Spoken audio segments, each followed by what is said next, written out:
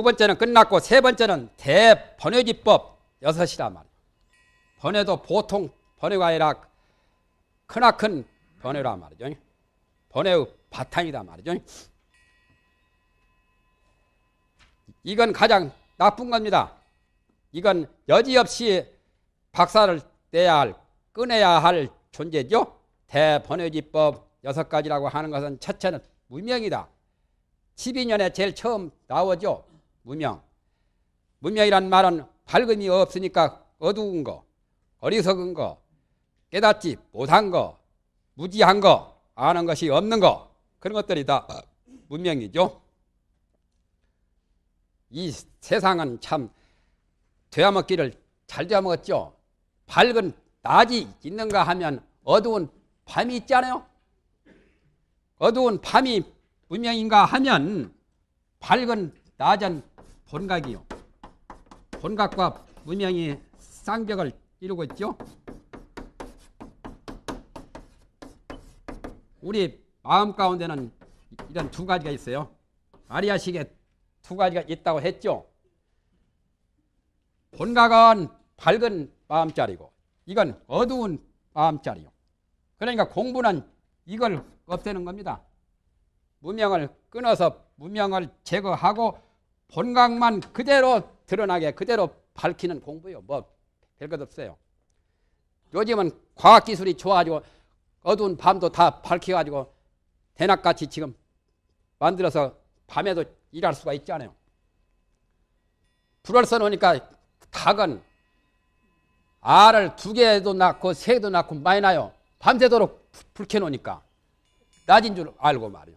낮에 원래 그냥 두면은 계란은 알 한 개밖에 안 나요. 놔놓고 좋다고 꼭딱꼭딱하고 야단을 치는데 밤에도 불 써놓으니까 말이죠.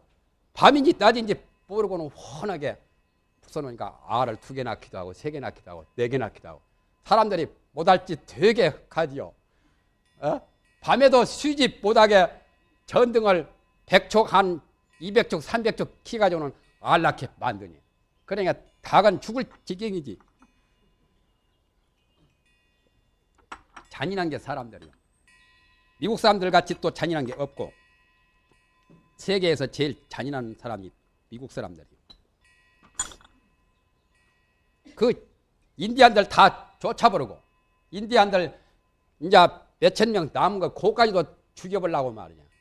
이렇게 그 것이 저 무법 치외권으로 딱 만들고 설탕하고 소고기 주가지고 자멸하게 만들잖아요. 제2세도 제대로 못 넣게 하고.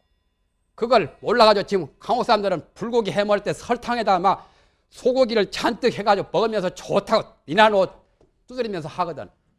벌써 이제 외국에서는 그거 다 끝났어요. 외국에서는 그, 런 거 잘 안 먹거든. 사실은 제일 두뇌가 제일 명석하고 제일 좋은 것은 채수가 가장 야채, 산채, 바다의 그 미역 같은 거 그런 게 사실은 좋기는 좋은데 설령 고기를 먹더라도 그냥 먹여야지. 그저 것이 저 설탕을 많이 놔주면 두뇌도 나빠지고 정력도 나빠지고 제 2세에도 큰 해독이 비친다는 거예요. 지금 미국 놈들이 인디안한테 그렇게 주잖아요. 지 멋대로 해라야죠. 그거는 치외 법권으로. 그래가지고 제 2세를 구실은 좋죠. 잘 먹인다. 고기에다가 설탕으로 잘 먹인다는 거예요. 그게 안 좋다는 겁니다. 대단히 나쁜 거죠.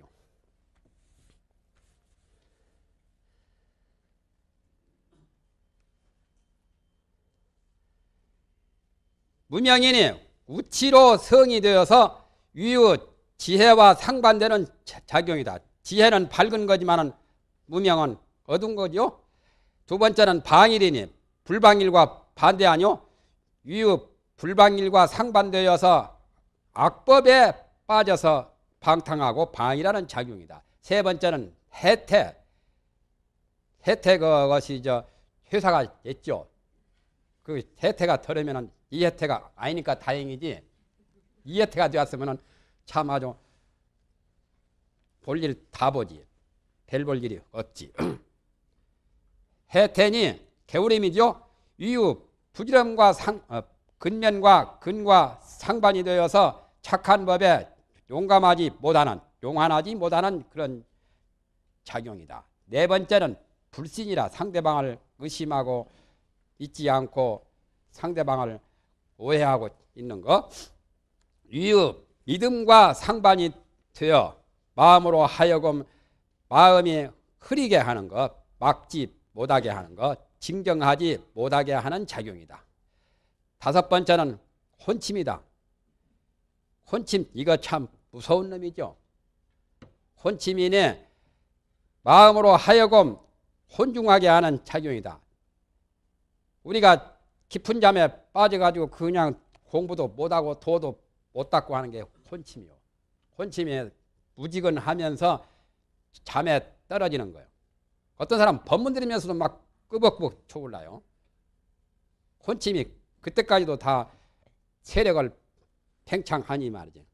법문 들을 때 많이라도 정신을 좀 바짝 차리고 있으면 얼마나 좋아. 남한테 추태를 보이고.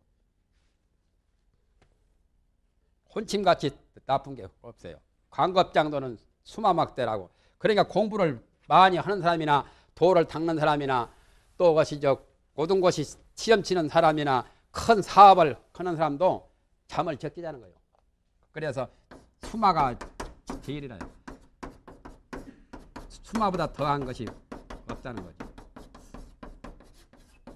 강급장도는 수마막대라. 수마보다 더 큰 것이 없다. 광급이란 말은 많은 세월 동안 광급 동안 도에 장애하면 광급 장도는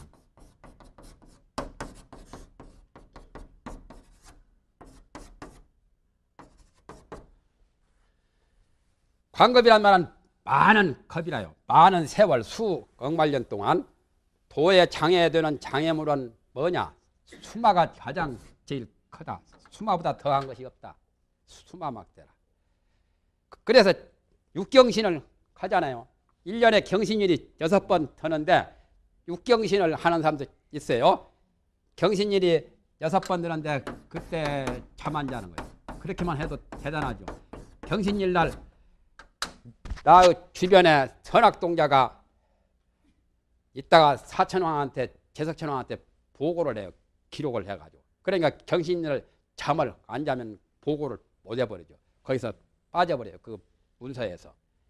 그런 건데 수마를 정복하기가 참 어렵죠. 그래서 육경일만이라도 그렇게 하려고 하는 것이 육경일 지키는 건데 이날만 잠을 안 자요. 율곡 선생이 했고 이태계가 했고 그것이 저최 최치원 그저 최모요 최치원이 최고원 선생 그런 분이 했고 서화담 선생이 했고 한 사람들이 들어 있어요. 그전에 단하심도 저 하려고 많이 가시는데 단하심 성공을 못 하시는가 하시는가 그건 확실히 모르겠어요. 가끔 모여서 육경일을 하셨거든. 지금은 그거 하는 사람도 없어요. 육경일이 뭔지도 몰라요. 잠안 자기 참 어려워요. 육경일 동안.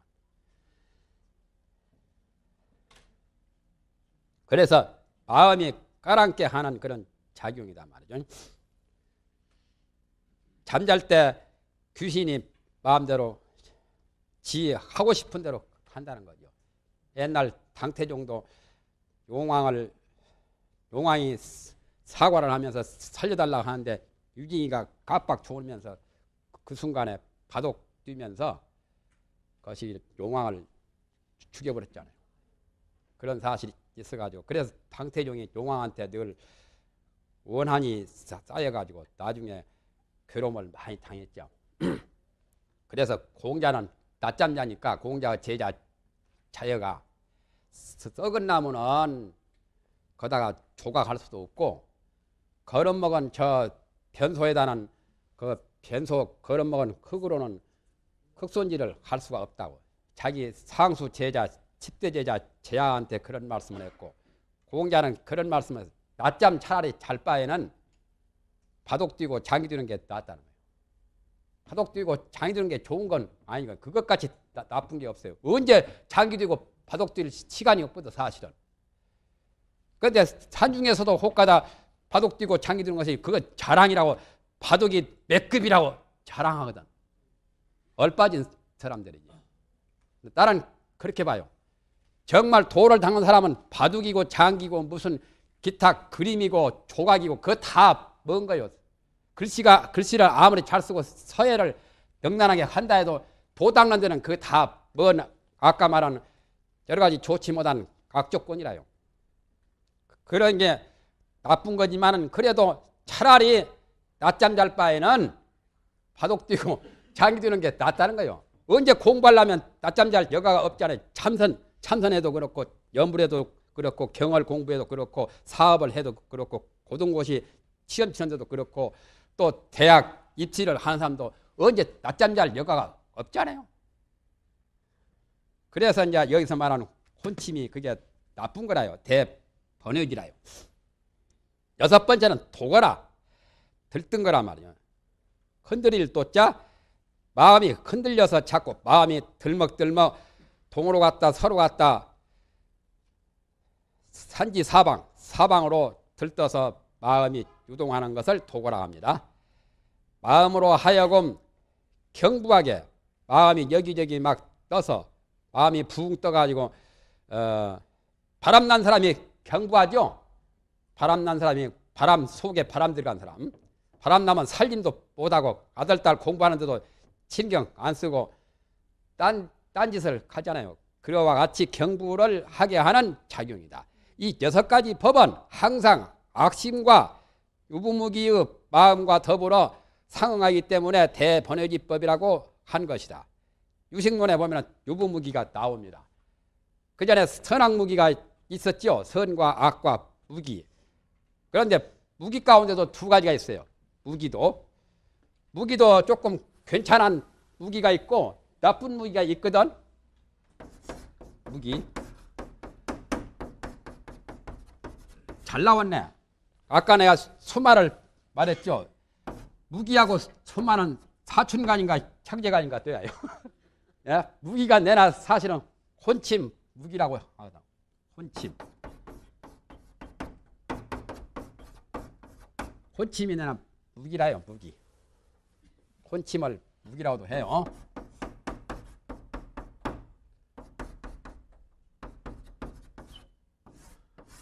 하나는 무부무기가 있고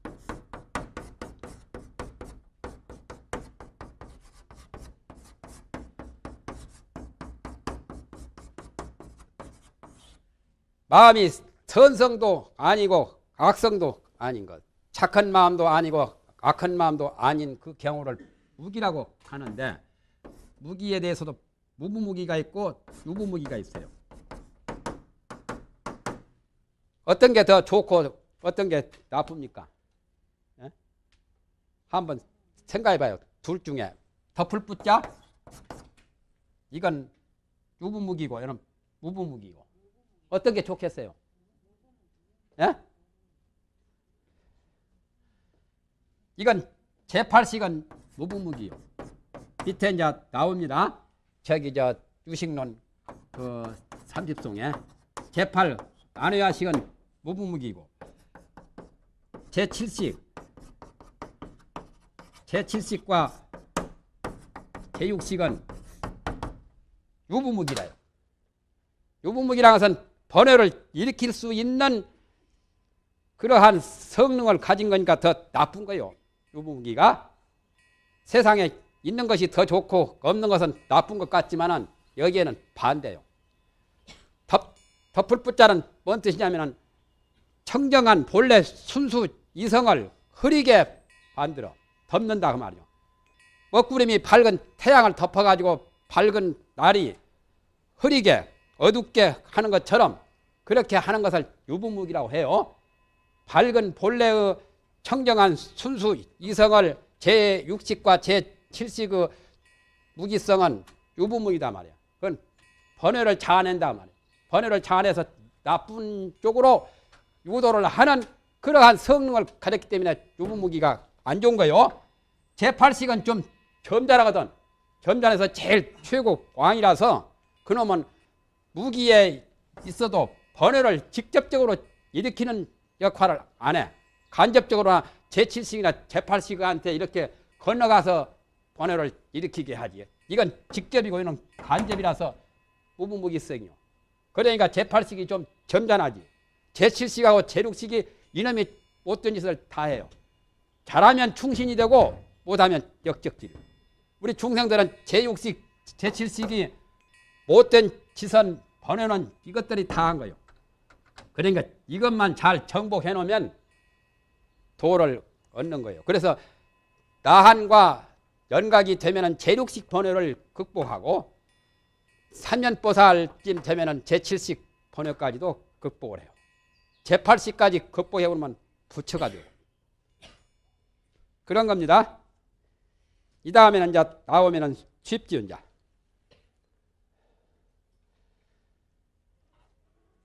유부 무기의 마음과 더불어 그러니까 이 도거란 놈이 도거는 말만 들어도 재미가 없잖아요. 도거가 뭐요?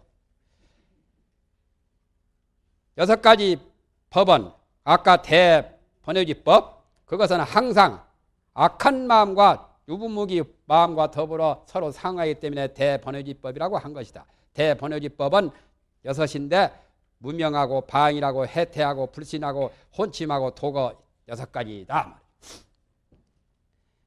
우리 세계가 지금 육대주죠? 육대주와 같이 번외도 여섯 가지요. 네 번째는 대불선지법이라. 대불선지는 아까 대선지하고는 정 반대되는 현상이죠. 대불선지법이 둘이라고 하는 것은 첫째는 자기 부끄러움이 없음이니 유유 제부끄러움과 상반되어서 자기가 스스로 자발적으로 부끄러워할 줄 모르는 작용이다. 두 번째는 남부끄러움이 없음이니 유유 괴와 남부끄러움과 상반이 되어서 다른 사람에게 부끄러워하지 않는 작용이다. 그것을 속담에 뭐라고 하죠? 철면비. 철면비가 바로 그런 것들이요. 그러니까 철면피라서는 이 이게 두껍지 않은데 척가지고 쇠 이런 철판을 뒤집어 쓴 것처럼 철면 그러니까 가면 쓰는 사람들이 나쁜 짓 더 합니다. 그러니까 그것이 저 옛날 친수군이가 간첩 가면 쓰고 나쁜 짓 했죠. 그리고 그것이 저 무슨 풍악놀이 할 때 가면 쓰고 하면서 나중에 강간하고 그런 사실이 영화에 가끔 나오죠. 그래가지고 무당아들 두고 말이죠. 거기다 가면 쓰면 벌써 가면 쓸 때는 부끄러움을 느끼지 않거든. 철면피처럼 무참 무게가 되는 거죠. 이 두 법은 일체 불선의 마음과 상하기 때문에 대불선지법이라고 한다. 대불선지법이 둘인데 무참과 무게. 굉장히 높아시면서 이런 것까지 또 내놨죠. 밑에는 안 내도 될 것을. 다섯 번째는 소번외기법이라. 그러니까 아까 대번외하고는 조금 성질이 약간 좀 빈약하죠. 약소한 작은 번외다 말이죠. 작은 소형의 번외 바탕 그런 법이 열개라고 하는 것은 첫째는 분이다. 막 그냥 마음에 막 울분이 나가지고 막 불로가 나서 말이죠. 물인동 불인동 모르고 말이죠. 칼 들고 설치잖아요. 그러니까 저저 것이 저 자갈치 시장에서 싸움 나면은 칼 들고 조개 캐는 사람들은 칼 들고 막 싸우고 저저 것이 이제 국제시장에 포목점에 싸움 나면 말이에요. 잣대 들고 설쳐요. 잣대 가지고 늘 배를 재고 그러니까 썽이 나면은 안 보이거든. 물불도 모르잖아요. 그러니까 자기가 집에 있는 칼 같은 거 흉기는 깊은 곳에다 눈에 보이지 않는 데다 두는 것이 지각입니다. 부부간에 싸움 나가지고 막 물불을 몰 때는 자기 남편이 뭐라도 칼라도 있으면 막 던지기도 하고 큰일 납니다. 그때는 인정사정도 모르거든.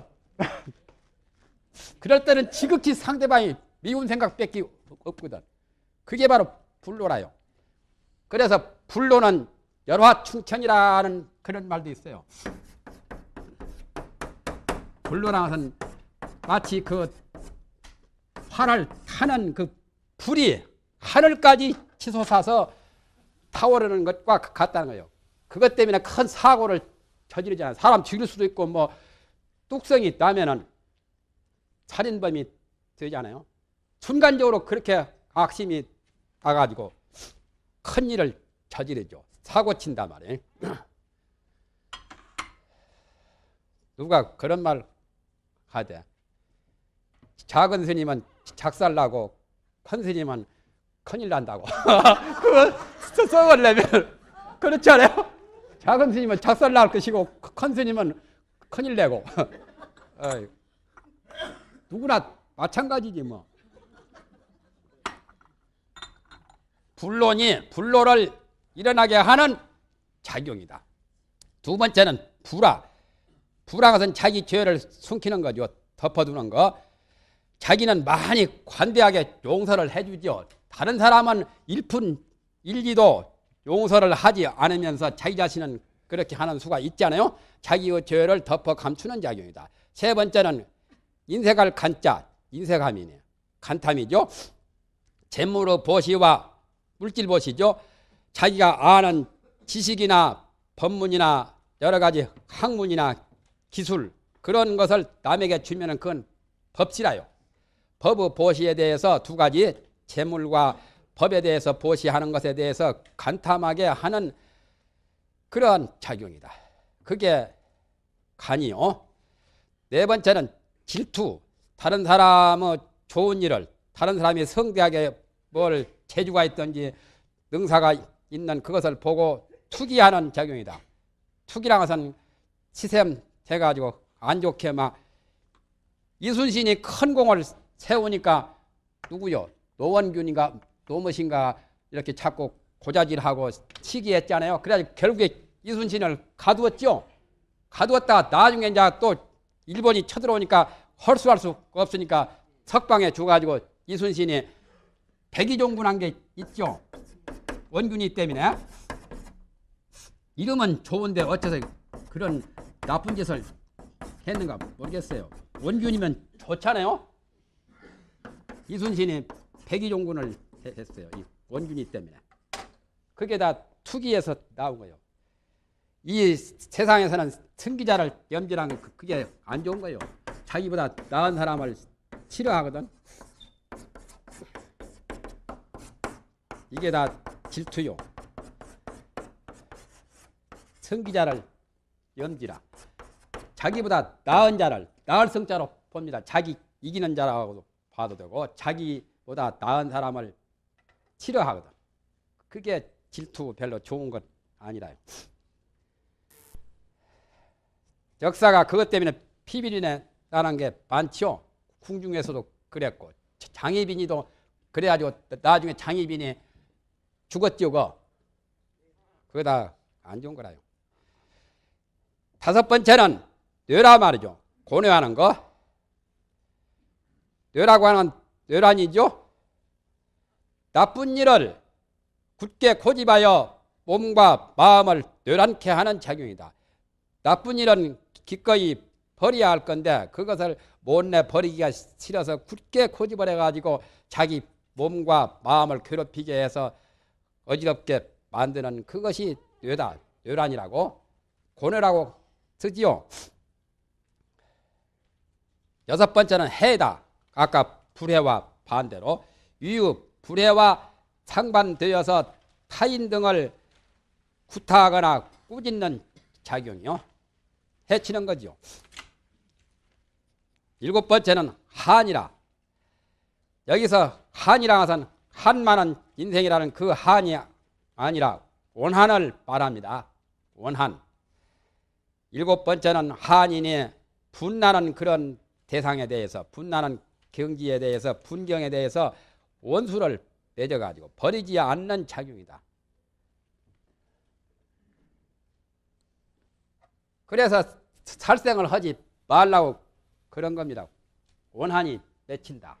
살생을 하면은 사람이나 저런 동물들 산 목숨을 죽이면은 살생을 살생하면은 원한이 맺힌다.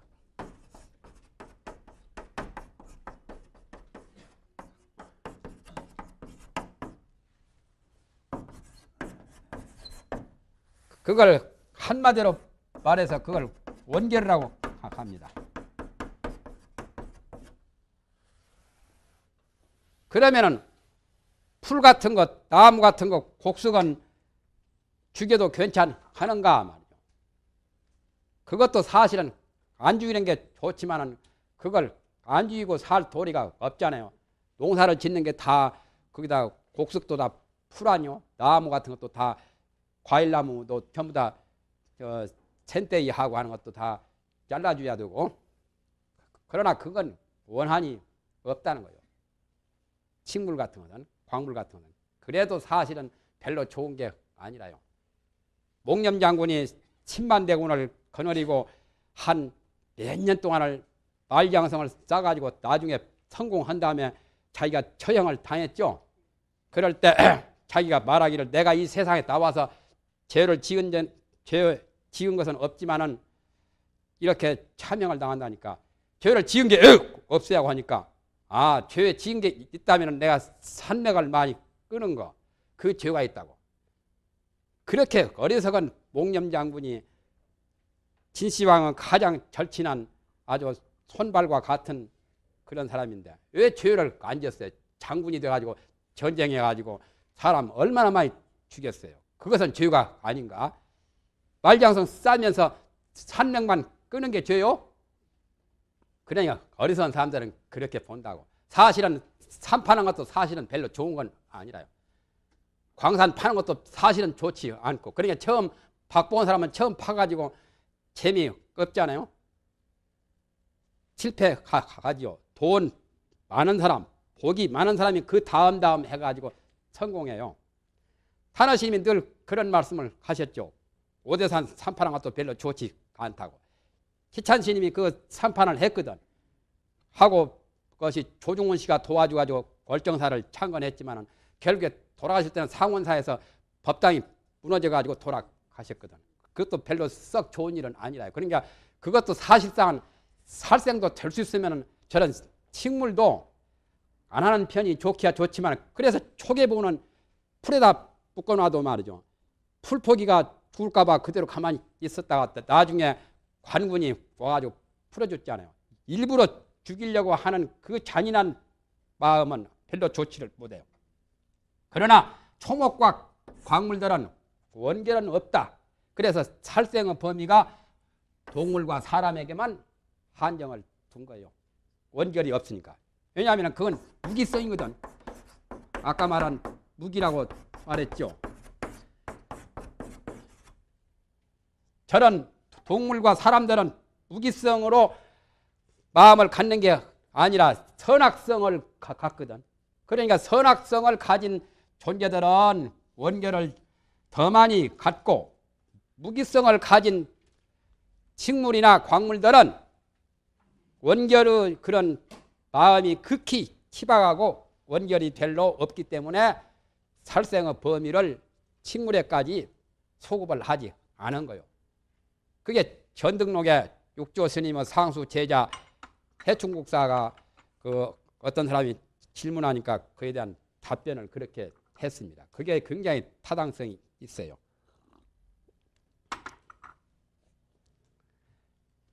그런 한인이 온한인이 분나는 경계에서 원수가 맺어가지고 버리지 않는 작용이다. 여덟 번째는 아첨하는 첨이다. 아첨할 첨자. 윗사람한테 아양을 떨고 잘 보이려고 간신 노릇하는 거. 거시기도 저, 저 이한용이도 말이죠. 큰 아주 대역죄를 지는데도 이한용 지금 자손들도 버젓이 살면서 저쪽 홍은동 쪽에 그 땅이 이한용 땅이거든 거기가 그거 찾으려고 좀 재판하려고 길을 쓰고 있잖아요. 세상에 한 번 싸워보지도 못하고 일본 놈한테 고스란히 다 바치는 사람이 어, 어디가 있어요. 그래도 임진 연한 때 우리 조상들은 잘 살았어요. 36년간 일본한테 식민지 당할 때 우리 그네들은 말이에요. 잘못 살았어요. 얼굴이 부끄러워서 얼굴을 들고 다닐 수가 없어요. 우리는 그때 어려서 일정 치하에 있었지만은 이한용 까라 그 사람들이 바쳤잖아요. 그대로 다. 세상에 그런 역사가 어디 있어요? 싸워보지도 못하고. 거기다 아첨해 가지고 자기의 일신의 안락이나 일신의 그 관작이나 일신의 부귀 영달만 도모했지 국가와 민족의 그 어떤 것은 깊이 깊이 생각을 못했겠죠. 설령 충신으로 피를 흘리고 죽을지언정 그런 짓은 안 해야 하거든. 거기다 아첨한 데서 나온 거예요. 차라리 죽었으면 깨끗이 죽었지. 정몽주처럼 최영 장군처럼 그렇게 죽어야 돼요. 이순신 장군처럼 죽을 때 가서는 죽어야 하거든. 아첨하민이 마음과 희망과 신소로 하여금 사고하고 부정하게 그랬던 거죠. 삿되고 마음이 편곡해서 마음이 정지가지 못하고 굽어가지고 부정하게 하는 작용이요. 여가서는 이렇게 하고 저가서는 저렇게 하고 그 사람 그저 아첨을 떨면서 기분 좋게 간신 노릇을 간에 붙었다 찔게 붙었다. 그게 부정 아니요? 하기가 간하고 찔기하고는 같이 붙어 있어요. 그런데 우리 속담이 묘하게 간에 붙었다 실게 붙었다 하거든. 그게 부정한 거예요. 여기 붙었다 저기 붙었다. 내가 누구라고 꼬집지 않지만 그 정권 때문에 여기 갔다 저기 갔다 한 사람이 얼마나 있어요. 아이고 그것도 그것도 부끄러운 짓이라요. 누구라고 딱 지적하면 그거 재미가 없기 때문에 안 하는데 그것도 아첨하는 마음에서 나온 거요. 아홉 번째는 광이다. 속이는 거다. 기광하는 거, 사기, 사, 사기치는 거. 다른 사람을 속이는 작용이다. 열 번째는 교, 내가 내놓으라 하고 교만한 거. 임금이 되어도 교만하고 높은 고관대장이 되어도 교만하고 부자가 되어도 교만하고 주먹심이 세도 이래 하고 벌써 사람을 훑어보죠. 이렇게 그것도 교만하고 어깨 채고 어깨 그 재는 사람들도 다 교만한 마음이요. 교만하면이 자기 법에 염차가요. 자기가 자기의 권력이나 자기가 알고 있는 지식이나 자기가 좋아하는 종교나 거기에 물들어 가지고 마음으로 하여금 자기가 가장 높은 채 하는 거.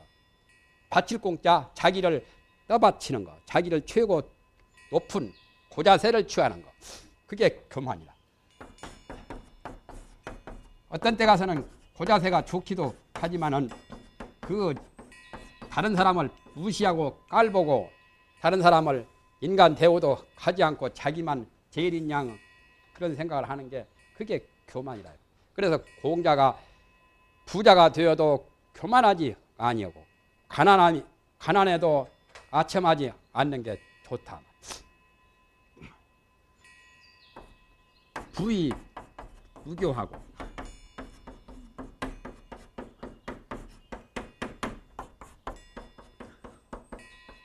부자 되면은 돈 있다고 의시되죠.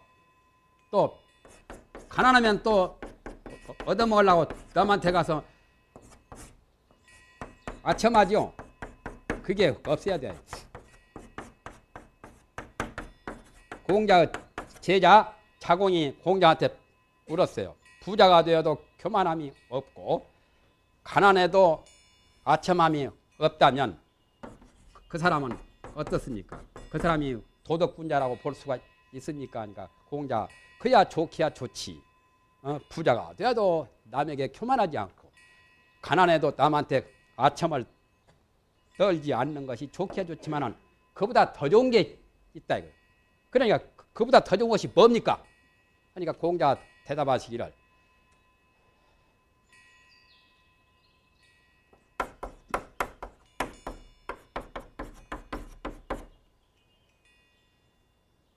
부의 호래하며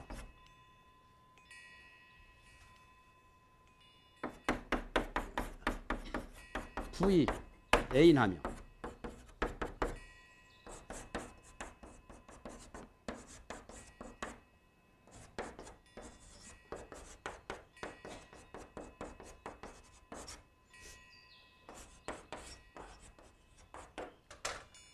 이게 더 좋은 거란 말이에요. 그렇잖아요. 아까는 하나의 것이죠. 부자가 되어도 자기가 자기 모든 어려운 사람들, 주위 사람들을 잘 돌봐주고 잘 사랑해야 되고 맞는가 모르겠네요. 가난해도 가난하다고 비굴하게 아첨을 떨지 말고 가난해도 좋은 애를 좋아해야 한다. 애랑 해서 하나 도거든요. 극기복리하는 도를 좋아해야 한다. 학문을 즐기고 도를 좋아해야 그게 좋다는 거죠. 그, 이게 이제 공자의 말입니다. 이 말이 이건 공자의 제자 자공이가 부른 말이고 이 말은 공자의 말이고 이쪽 말은 자공이 공자의 제자 자공이가 묻는 말이고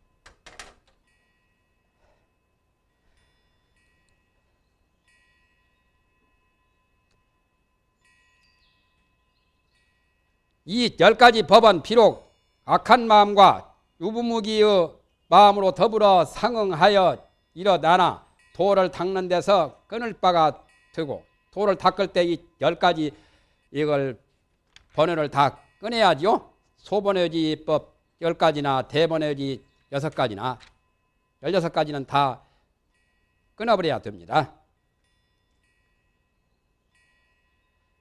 수도에서 도를 닦는 데서 끊을 바가 되고 도를 보는 데서 끊을 바는 아니다.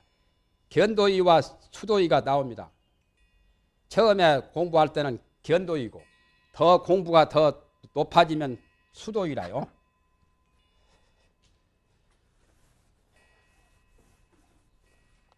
처음은 초장은 견도이고 그걸 견도이라고 합니다. 유식론에 나와요. 유식론 제일 끝머리에 그 다음에 이제 중장에 가면은 수도이가 나옵니다.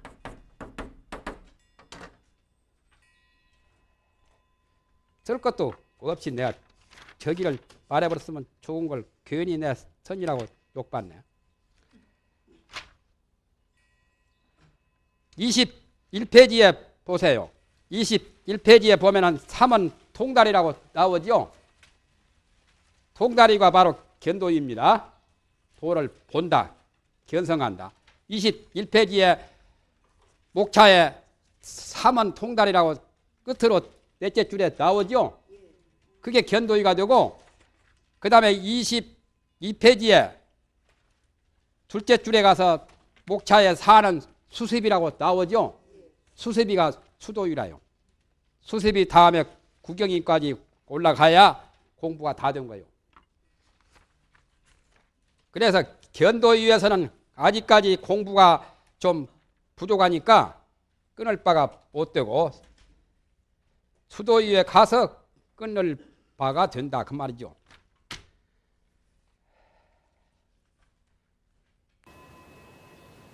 또는 의식의 운명과 상응하고 자기 재력 의식작용, 의식작용, 의식에 있는 무명 번외와 서로가 어울리고 타식과 불통하다. 다른 식과는 통하지 않아요. 안식, 유식, 비식, 설식 그런 것은 이런 번외를 안 일으켜요. 안식은 보기만 하고 유식은 듣기만 하고 그런데 재력 의식이 그 작용을 하면서 그것이 온갖 장난을 치는 겁니다. 그게 번외를 일으켜요. 그러니까 아까 내가 제7식하고 제6식이 역적 노릇을 한다고 마음을 잘 먹으면 충신 노릇도 하고 제주는 저게 다 부려요.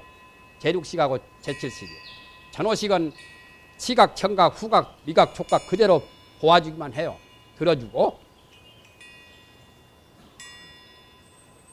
이 열 가지 또 이 열 가지 법은 현행이 각각 다르고 현행이라서는 그것이 작용하는 겁니다. 작용해서 나타나서 행하는 그런 작용이 각각 다르고 반드시 종자에서 나타나면 현행 아니요? 반드시 열 가지 법과 함께가 아니란 말이에요. 열 가지가 동시에 일어나지 않는 경우가 많죠. 놀부는 간탐심이 많았지요.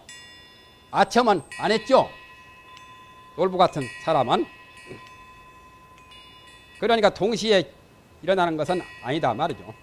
그러한 세 가지 의미 때문에 세 가지 의미랑 것은 현행이 각별하고 또 열 가지 법과 함께 일어나지도 않는 거고 또 음영과 상응하고 타식과 불통 불통하기도 하고 또 또가 나왔잖아요. 그러니까 그게 세 가지요.